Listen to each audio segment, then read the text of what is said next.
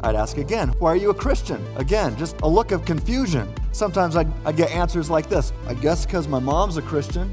My grandpa started a church. What frightens me about the state of the church today is that by and large, many of us don't really understand why we're Christians. I think that if pressed, many churchgoers today simply like the story of the gospel. Maybe it's their favorite story, but they don't really think it's true. Great story, though. It might be the best story out there, but it's not really true. All that supernatural stuff, that's kind of crazy. And I think this is evidenced by so many unchanged lives. We see this play out every week, uh, but we see churchgoers in the church on Sunday mornings singing praise songs, opening their Bibles, and, and whispering amen to the pastor's message.